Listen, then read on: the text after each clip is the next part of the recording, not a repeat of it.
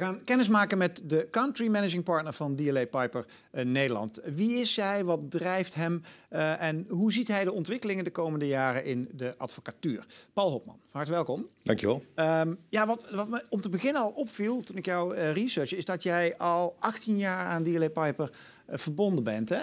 Uh, nou, dan ga ik niet vragen hoe oud je bent, maar zo oud ben je niet. Dus dat betekent dat je echt wel zo'n beetje je hele carrière daar gezeten hebt, of niet? Een uh, heel groot deel van mijn carrière inderdaad uh, bij DLA. In 2000 begonnen. Ja. En volgens, ik geloof 2006 partner geworden. En de afgelopen drie jaar dus manager partner. Oké, okay, dus voor alle jonge mensen die zitten te kijken, het kost ongeveer zes jaar om partner te worden. En daarna nog eens negen jaar om het tot country managing partner te maken. Ja, dat, het verschilt een beetje denk ik per kantoor en per ja. persoon. Ja. Uh, een beetje geluk hebben. Uh, dat er kansen ontstaan, dat je die kansen grijpt. Ja. Uh, maar ben jij een loyaal type dan?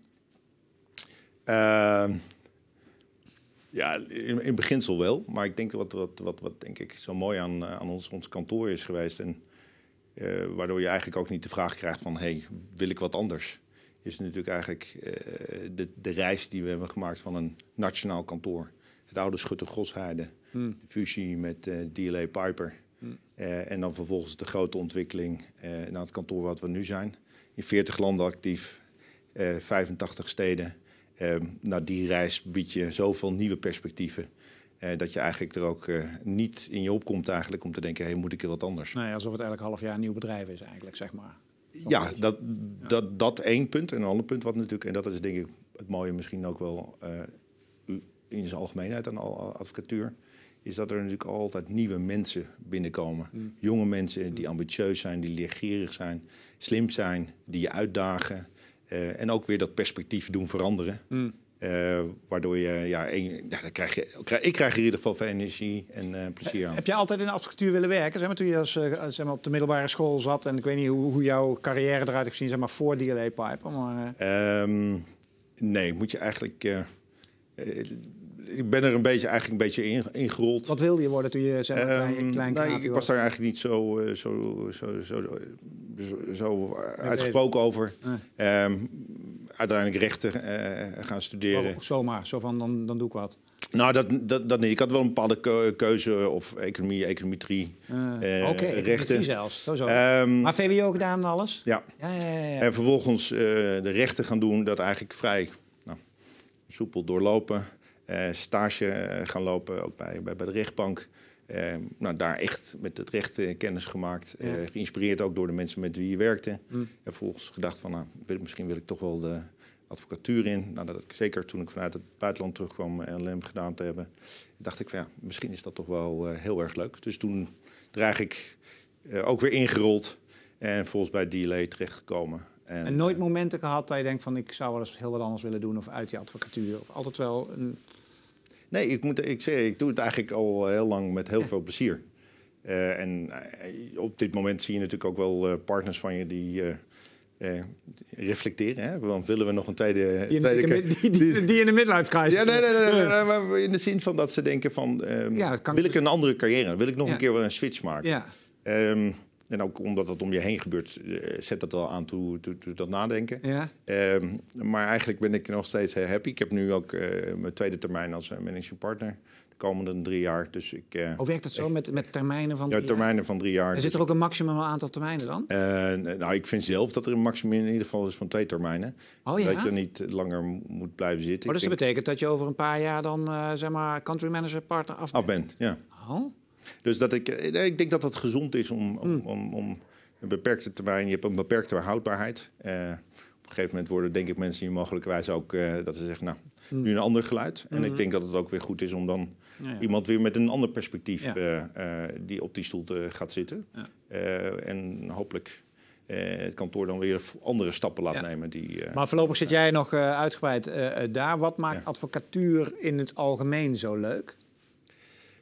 Um, nou, ik, ik, ik, zei net al iets even over de, over de mensen, jonge mensen die komen, een, een, een ambitieus gedrevenheid. Maar de andere kant is natuurlijk iets wat mooi aan het recht is, is, is dat het, het is erg, uh, het staat midden in, in, in, de maatschappij, is het niet. Het is iets wat aan ontwikkeling onderhevig is. Um, en daardoor zijn er altijd weer nieuwe dingen.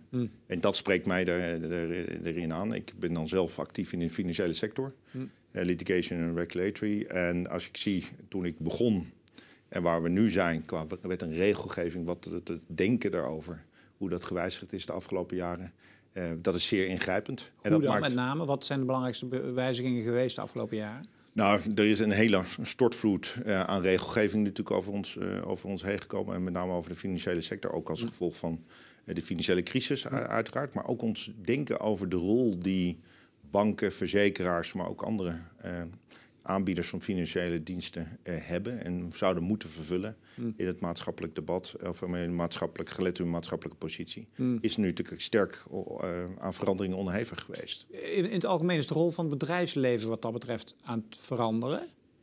Ehm, dat denk ik wel. Ik denk dat toch we met z'n allen stilaan vinden dat ehm, je als onderneming, en dat geldt denk ik ook als een advocatenkantoor, ehm, je doelstelling of hetgeen wat je na moet streven meer is dan alleen maar winst maken. Ja. Maar dat je eh, ook een, een bepaalde eh, betekenis moet hebben eh, in de maatschappij. En dus dat je een bredere verantwoordelijkheid hebt dan alleen maar voor de onderneming, je klanten en, en, en je werknemers. Ja. En is dat besef bij alle bedrijven aanwezig? Ja, dat, dat, is, dat is moeilijk te zeggen. Ik denk dat er wel verschil is tussen ondernemingen. Hmm. ehm, eh, in hoe zij die taak of hoe zij die verantwoordelijkheid zien. Mhm. Dus dat, is eigenlijk, eigenlijk zeg je nee, niet alle ondernemingen. Zeg je dan eigenlijk. Eh, nou, volgens mij zei ik dat, dat niet, maar dat is vanuit mijn perspectief moeilijk, eh, moeilijk Nee, te ik. beoordelen. Ja, snap ik. Ehm, maakt dat het werk voor jullie makkelijker? Eh, je zou bijna denken als bedrijven braver zijn en, en, en eh, zeg maar verantwoorder ondernemen, dan heb je ook minder juridische zaken. Eh, het, maakt, het maakt het ons werk anders. Ehm, ik denk dat ehm, klanten van ons en dat recht ook mogen verwachten dat we ons werk vormgeven. Niet in de zin van dit is de juridische regel, maar dat wij vanuit hun perspectief, en dat kan vanuit eh landenperspectief, regio-perspectief zijn, dan wel sectorperspectief, bepaalde expertise toevoegen aan het advies, waardoor wij hen hopelijk richting kunnen geven in eh, ook richting de toekomst. Verandert dan een advocaat, wat ik nu zo luister, word je meer adviseur dan? Want ik zat net na te denken toen je dit zo beschreef, dacht ik van hoe onderscheid je je nou als advocaatkantoor? Ik bedoel, het is recht. Nou, als er iets Ja. objectief is, whatever, dat, hè, als dat al bestaat. Maar kortom, de wet is Ja, ja. wet, zeg ik dan Ja, even. Ben, ik ben een leek. Maar dan denk ik van, hoe kun je onderscheiden? Zit hem dat daarin dat je ook eh, eh, zeg maar een adviserende rol kan hebben? En op wat voor glijdende schaal kom je dan wellicht terecht? Het, het- ik, ik, ik denk zeker een breder advies geven, bredere context eh, duiden voor de klant. Dat is belangrijk. Dat is een punt waar je kan onderscheiden. Ehm, en dat betekent ook, denk ik, als kantoor dat je keuzes moet maken van welke sectoren, welke regio's je wel actief wil, Ja. wil zijn. En dus vooral ook te, zeggen dat je bepaalde dingen niet doet. Zoals bij jullie? Nou, wij hebben ervoor gekozen wereldwijd om eh, tien sectoren actief te zijn. En ook voor binnen die sectoren dan voor een beperkt aantal klanten Ja. eh, te kiezen Ja, omdat we menen dat we eigenlijk de tijd die ons beschikbaar staat, eh, dat we eigenlijk alleen maar dan dat advies kunnen geven, die service kunnen verlenen En de kwaliteit. eh, en de kwaliteit kunnen waarborgen die de klant verlangt. Maar is de rol adviserender geworden in de loop der tijd? Of is dat altijd al zo geweest? Ja, dat, dat hangt ook weer vanuit welk perspectief. Ik ben zelf een litigator, dus eh, uiteraard Dat is een heel moeilijk woord. Wat Eh, nou, ik, ik, ik procedeer. Ik, ja, ja. ik maak betaald ruzie. Zo Ja, kan je het ja, ook, ja, ja. zou je het kunnen duiden. kunnen duiden. Ehm, Ik maak betaald ruzie. Ehm, eh, eh, eh, nee, maar ik, ik, denk, denk, ik, ik denk dat ehm, eh, het advies is breder geworden. Er is altijd al werd, er- werd er geadviseerd in combinatie ook met litigation vanuit mijn perspectief, maar het is wel wat, wat, wat verdergaand. Eh, er zijn ook niet-juridische elementen toegevoegd, zoals reputatie. Wat voor veel bedrijven, onderneming toch belangrijk is. eh, waar je ook in je advisering mee dient rekening te houden. V- Verandert de advocatuur als wereldje? Ik bedoel, ehm, ik als buitenstaander heb dan toch, ik moet dan wel vrij snel aan de Zuidas eh, denken, aan corporate, aan eh, de grote partijen, partner gestructureerd. nou, zo kan ik nog wel een paar clichés Ja, ja. noemen. Ehm, eh, verandert, verandert die wereld? Zie jij, jou, jou, zie jij DLA Piper in de toekomst veranderen? Ja, Ehm, hoe? wij zullen blijven veranderen en we zullen moeten veranderen ook om aan, aan, aan de wensen van de klant te, te, te beantwoorden. Ja. Eh, de advocatuur natuurlijk aan zich is heel sterk veranderd. Is, is, ehm, al- alleen het, al, een, al het aantal advocaten, eh, wat, er, eh, wat er nu is, geloof ik 17.000. Eh, ja, dat is eh, in de geloof ik afgelopen tien, twee, tien jaar verdubbeld. Eh, je ziet van nationale kantoren en natuurlijk richting internationale kantoren. Ja. Eh, en daar tussendoor had je natuurlijk ook Europese kantoren, maar je ziet ook heel veel Amerikaanse kantoren die hier naartoe komen, die eh, ja, andere drijfveren hebben, een ander perspectief op de, op de, op de markt. Mm. Eh, dus die markt is, is sterk veranderd. Mm. Ehm, en bepaalde politieke ontwikkelingen en nu ook weer de brexit, die zullen denk ik ook weer voor verandering zorgen. Mm. Je ziet de herin of weer de accountants terugkomen die natuurlijk de juridische wereld Ja. binnentreden. Is dat goed? Eh, ja, dat is niet voor mij, denk ik, om daar een Maar wat, stempel goed maar of wat fout vind op jij aan- daarvan? Ehm, competitie is denk ik altijd, eh, Mm. altijd- goed en zinvol. Dat houdt je scherp, maakt je eigenlijk beter. Mm. Ehm, dus ik, eh, ik, ik verwelkom dat eigenlijk. Prima. Ja, precies. En the best win.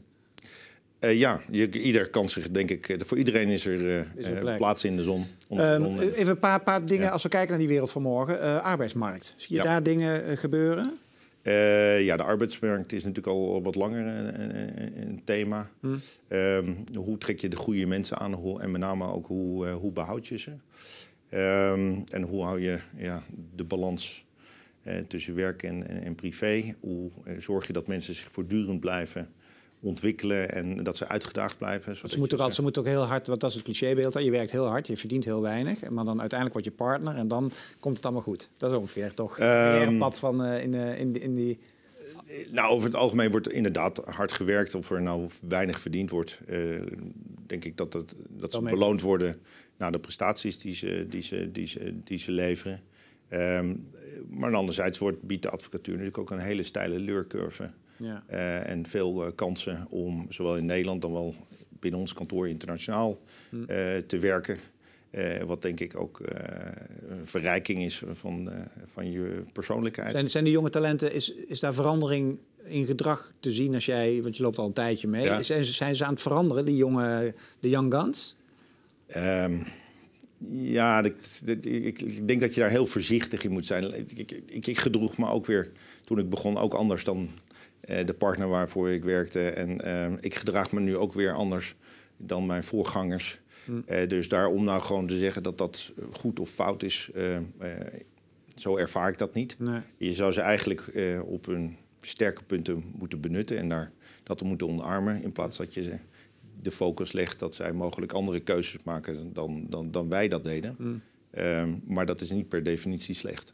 Ehm, technologie, is dat een ding? Je leest natuurlijk veel over eh, AI, machine Ja. learning, dat due diligence trajecten al zeg maar, door computers worden gedaan, dat de robots komen eraan. Hoe zie jij die eh, ontwikkeling? Eh, nou, dat is, dat is een ontwikkeling die al, die al die grote stappen neemt. Dat zie je ook binnen ons kantoor natuurlijk.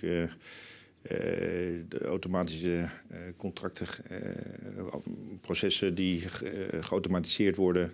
Eh, AI, eh, het doorzoeken van, van databanken, eh, het digitaliseren van informatie, het ontsluiten daarvan. Via fee-rooms, eh, allerlei toepassingen. Doen jullie dat al veel? Ja, dat wordt binnen DLA Piper wordt dat wereldwijd. Zijn jullie, zijn jullie een innovatieve partij erin of een volger? Of een, wij worden gezien als, eh, als redelijk in- eh, innovatief. Ehm, eh, in het buitenland worden daar ook allemaal prijzen aan, toe, toegekend. Ja. En wij vallen daar regelmatig in de, in, de, in de prijzen. Maar het is denk ik nog een. eh, we staan nog, wat dat gaat, nog ook nog ja, aan het begin. Eh, want toepassingen of de, de- de innovatie die voorhanden is, ehm, ja, die, kan, die heeft nog wel een ontwikkeling te, te gaan. Om daadwerkelijk die kwaliteit en die snelheid eh, van service te kunnen leveren. gaat het mensen vervangen uiteindelijk, technologie? Ehm, ik, ik, ik, twijfel daar eigenlijk over. Want wat, wat je ziet is dat, en dat zie je eigenlijk altijd eh, door de eeuwen heen, denk ik ook, is dat er innovaties komen. ehm, eh, die vervangen mogelijkwijs eh, mensen en die ondervangen ook bepaalde vragen, maar genereren ook weer vragen. En ook nieuwe, eh, nieuwe, nieuwe, nieuwe vragen roept dat op. Dat zie je ook in de, in de banenkwestie. Hè. Daar hebben we ook in de politiek een breed debat over gevoerd. Hè, van, gaat het nou ten koste van banen? Maar dan zie je toch ook Ehm, dat er ook weer allerlei nieuwe banen ontstaan. Data-analysten, veel meer IT-ingenieurs die, die gevraagd worden. Uh, dus het zal mogelijkerwijs uh, bepaald werk laten verdwijnen. Dat is denk ik ook niet, niet slecht, want, want er komt ook weer nieuw werk denk ik, voor in de plaats. En dat betekent dat je ook weer andere uh, mensen daarvoor zult aannemen met andere talenten en andere skills. Wat zijn als je kijkt naar, naar jullie kantoren en, en de, het, de cliëntelen en wat jullie allemaal aan cases en zo doen, wat is dan thematiek waarvan jij, even los van de bankaire sector en ja. jouw eigen domein, zeg maar, maar als je in de volle breedte kijkt, wat, is, wat zijn thema's waarvan je denkt, ja, die, maar die zijn juridisch de komende jaren echt super uitdagend en daar speelt heel veel?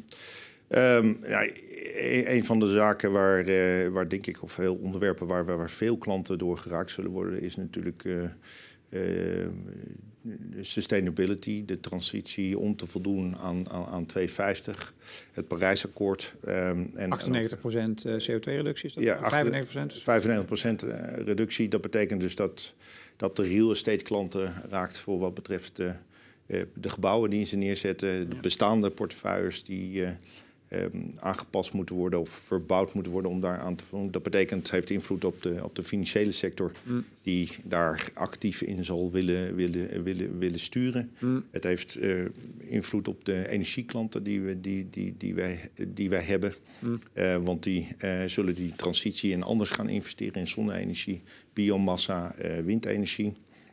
Het heeft uiteraard, daar komen ook alweer weer nieuwe uitvoeringen vind ik bij. Dus de, de de patentenkant die wij, die wij, uh, die wij uh, bedienen. Ook daar zullen mensen nieuwe uitvindingen, want die zullen komen, ja, dat, willen, willen, willen, willen, willen, willen beschermen. Je ziet dat die technologietransitie die toch nou, nog, nog steeds bezig is en zich verder zal voltrekken. Dat je ziet dat grote partijen en kleinere partijen overnemen. Mm. dat de corporate kant die daar daar werk aan, aan ontleent. Mm. Um, ja, zo zijn er heel veel thema's. Ook bijvoorbeeld het denken over belastingrecht en belastingverdragen. Mm. Wat een belangrijk onderwerp natuurlijk is voor, uh, uh, voor, um, uh, voor de, de belastingadviseurs bij, bij, bij, bij kantoor. De veranderde verhouding met, de met de Verenigde Staten. Um, onze Chinese investeerders, waar wij ook kantoren Zo, hebben. daar hebben we het niet zoveel over. Maar daar gebeurt toch ook wel het een. Daar gebeurt ook een aantal dingen. waar let je meer op, op Amerika of op China? Uh, nou, ik denk dat je ze beide heel uh, scherp in de gaten uh, moet houden. Maar Nederland heeft natuurlijk traditiegetrouw een sterke band met de US. Ja. Ook vanwege de verdragen die wij hebben, zijn ook veel Amerikaanse partijen in Nederland gevestigd. Hebben ja. een hoofdkantoor daar.